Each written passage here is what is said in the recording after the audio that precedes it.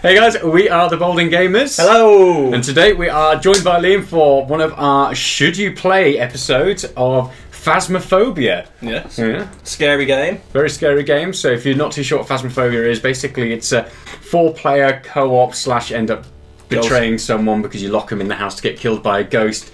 I mean, that's not part of the game. You're not meant to betray them. You know, if you're playing with people that like you, you don't get betrayed. So I've been betrayed every single time I play it, Yeah. as you can imagine.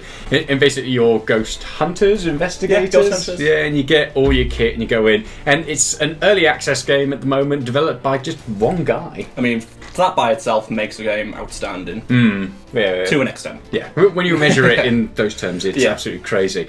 So you know, uh, obviously, we're going to go through things that we liked about it, disliked, and answering the question: Should you Should play you play it? Was- Should you play it? Come on. Three, two, one. Okay, I'm gonna do that. You do it okay. way. Yeah. Should you play it? Stop saying. Should you play it? Should you play it? Okay.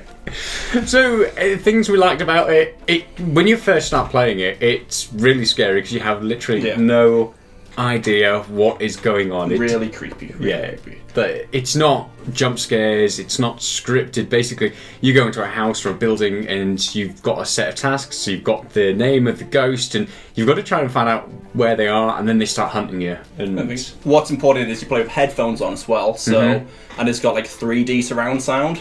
So when the is that correct? yeah, I think 3D surround sound. So when you're walking, you can sometimes hear the ghost breathe and it walks through you and oh, gives you chills.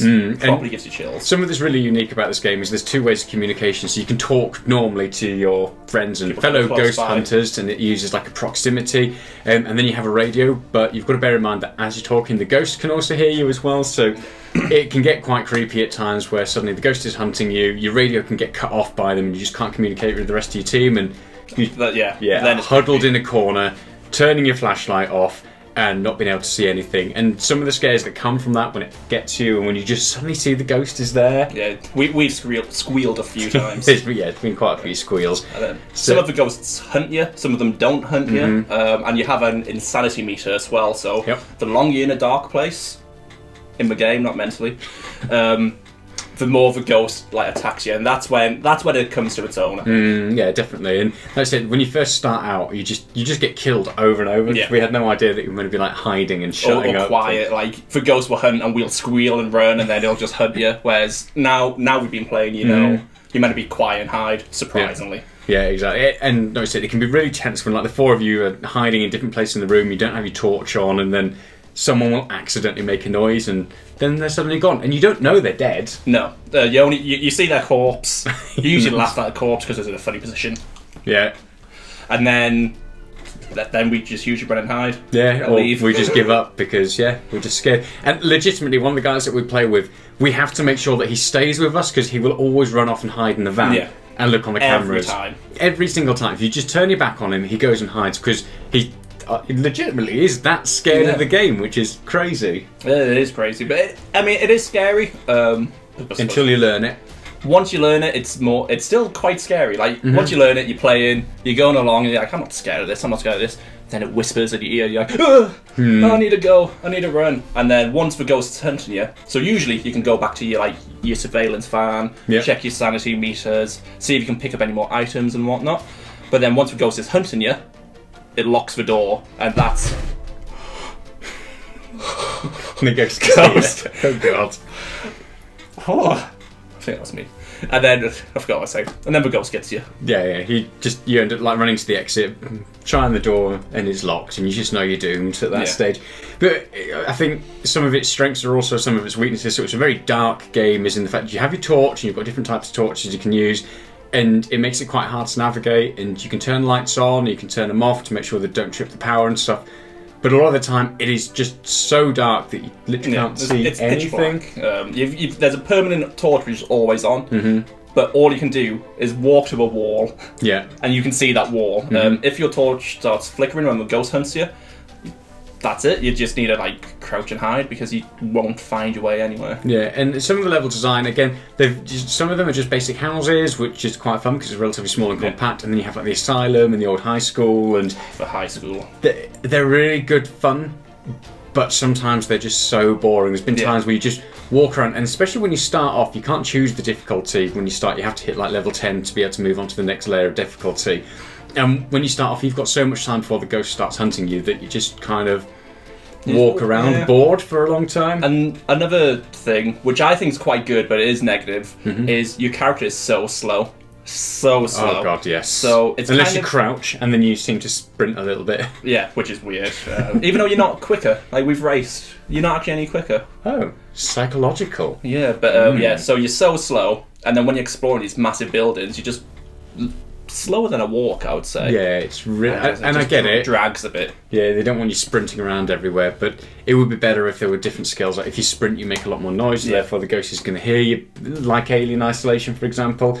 And that's another thing is it doesn't use jump scares, but I wish there were more animations. Like when the ghost gets to you, I wish it was more suddenly in your face, loud, because that would absolutely make you poo your pants. I mean, I find when the ghost gets you, it's, not boring. scary. Yeah. Mm-hmm. It's scarier getting hunted than it is getting got. Yeah, absolutely. When it's chasing you, when it's nearby, it's really freaky and eerie. But when the ghost gets you, she's like, ah, okay, I'm dead. Fine, Yeah. whatever. And then you just once you are dead, Mm-hmm. you're you're you're a ghost. You can't attack anyone, but you can follow people. You can hear them, Mm-hmm. but it, it's pretty dull because you can't do anything Yeah, unless it's- been updated. Eh, No, No, so you're literally aware. just walking around.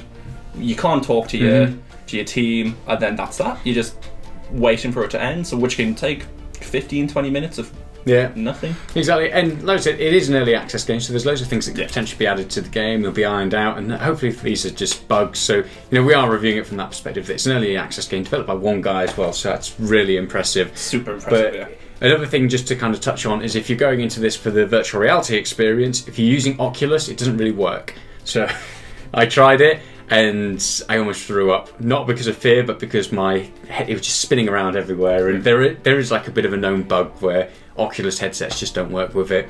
But I think it'll be interesting once it is done with Oculus, because then that that scare factor will just absolutely go just crazy. Yeah. So yeah, interested to see how that turns out. So I guess in summary, should you play it? I Yeah. would say yeah. Yeah, I would say so. Uh, even if you just play, if you've got a group of friends that you know, it's about eleven ninety nine at the moment. A group of friends just playing it, it is really good fun. We've had a, a good few hours. We played on it for a couple of weeks, and it does get scary. And like we said, legitimately, one of the guys that we play with just hides in the van all the time because it gets that scary. He just has to leave. And there's been a few times where It, yeah, prop genuinely very scary. Like, Hmm. and there's times when we're playing like where I don't I don't want to explore, and I'm very brave. he's not, he's not. But yeah, it's definitely worth playing. Yeah, I the would eeriness say, builds up, and Yeah. it just makes you go, "Oof, don't want to be in here anymore." exactly. I would say now though we we don't play anymore. No, I think we've it's- uh, exhausted the yeah. game as it is. Mhm. It's a good, fun experience, and as long as you approach it knowing that there are bugs, there are frustrations with it, it's it's a fun experience, but it doesn't have longevity, No. in my opinion. It's not a game that you're going to want to go back to loads and replay it, but it's a good game if you've got a group of friends who like to do some co-op gaming every so often. It's a good game just to have to go back to every so often and play. And it's a good, very different style of game. It's you're not Mm, like it's not yeah. shooting, it's not adventure. It's like Yeah. proper. You, you're hunting. It's like a almost detective game. Yeah, definitely. Anyway. And I think, to be honest, the future of Phasmophobia is a larger studio will do it better Yeah. and more polished, and Phasmophobia will be the thing that kind of launched that. And I guess, like Daisy, Daisy who? DayZ. so I guess, like DayZ, that.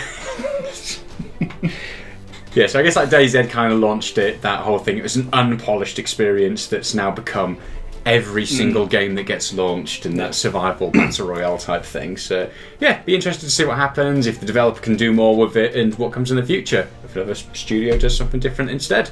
But yeah, worthwhile trying. I'd say for that price, if you've got a group of friends who like to get scared, yeah, give it a go. Hundred percent. Yeah. So hope you've enjoyed that video. If you have, make sure you hit the like and subscribe button because we will be doing more Should You Play videos in the future as well. Yes. So in the meantime, stay safe and we will see you soon. Bye. Bye.